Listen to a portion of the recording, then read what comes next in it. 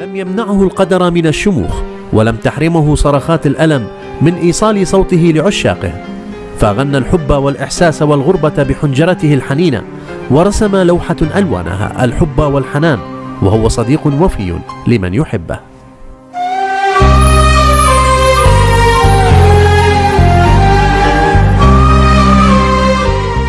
من بغداد بدأت بطولاته حيث جمع بين الرجولة والإحساس.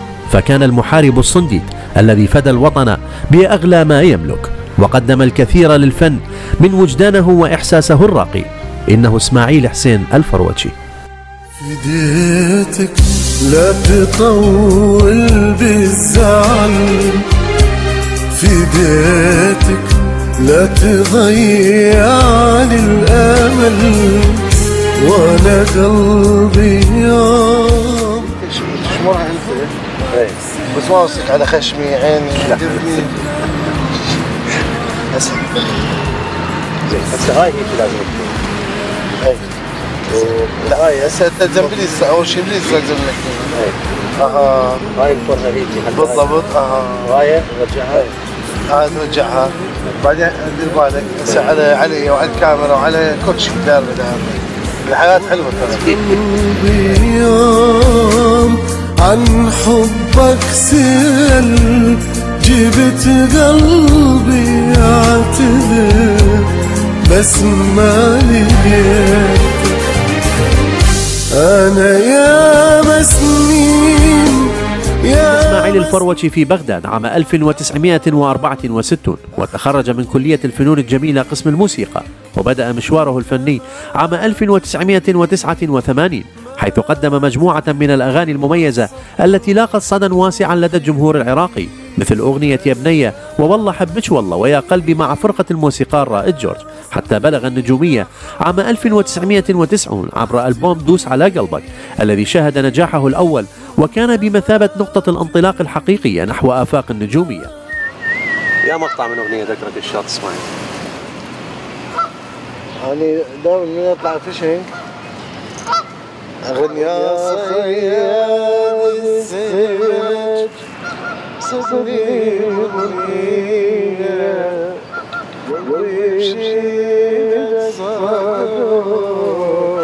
صدر ليش أحبك؟ ليش أحبك؟ اسأليني اسأليني. الفنان إسماعيل الفروتشي عام 1991 ساقه اليمنى أثناء مشاركته في حرب الخليج الأولى. ولكنه بالرغم من الوضع القاسي الذي ألم به استطاع مواصلة مشواره الإبداعي الذي كان قد بدأه منذ سنوات بإصرار وطموح وعزيمة غير متناهية. وكان لنجاحاته المتتالية الدافع الكبير لمواصلة المشوار الفني بثقة متجددة وإبداع متواصل.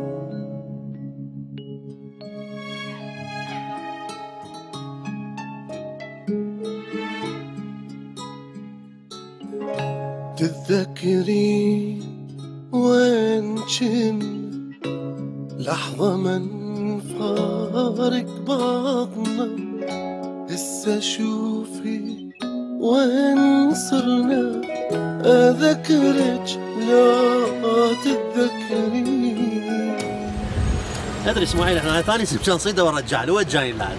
مو هسه أقول لك ليش. ليش؟ أني أجي الصيد بس أستمتع بالصيد وأرجعها. بس إذا اريد اكل سمك أروح اتسوق أشتري من السوق.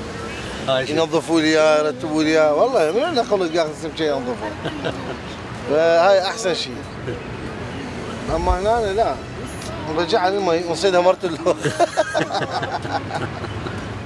قدم النجم ألبومه الثاني لجمهوره عام 1992 والذي حمل عنوان حيرة وبما تميز به هذا الألبوم من أغاني جميلة وراقية كان لها صدى كبير في إذن المستمع العراقي حيث توالت الأعمال الجميلة والناجحة مثل ألبوم حبيبتي أنت وبس واش معنى أنت ويا الحبيبة وقسمة ونصيب وخمرة الحب حتى ألبومه الأخير الذي أصدره من كندا بعنوان تتذكري وتوجت هذه الأعمال بالحضور الفعال القوي من خلال شاشات التلفزة عبر الكليبات والأغاني المصورة بشكل جميل ومميز.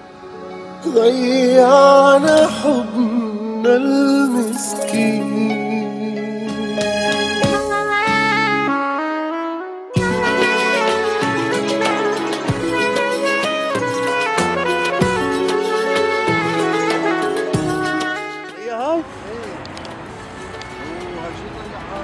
ليش دير بالك ها؟ اي اي اي شو؟ هاي ثاني وحدة اليوم إسماعيل. شو راح تسوي بيها هاي؟ نقطعها لازم مو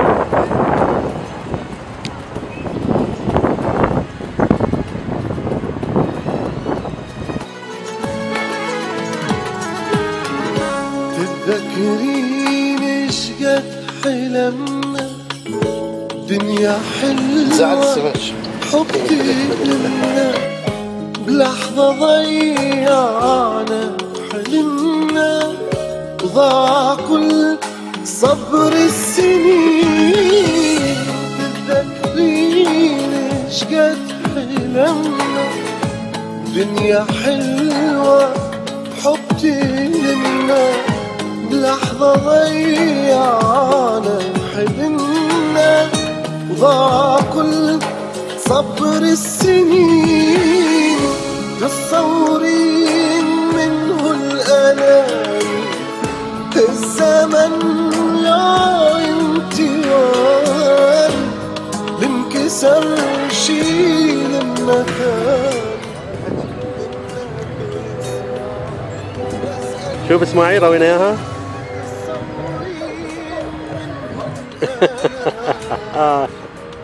شو راح نسوي بيها نشويها آه.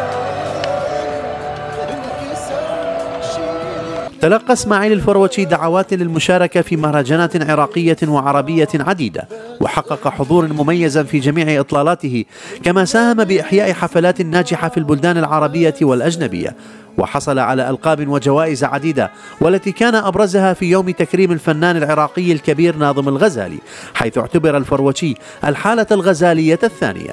لهذا الصديق والنجم الذي يعيش بيننا نقول أمنياتنا لك بالنجاح والصحة والعافية.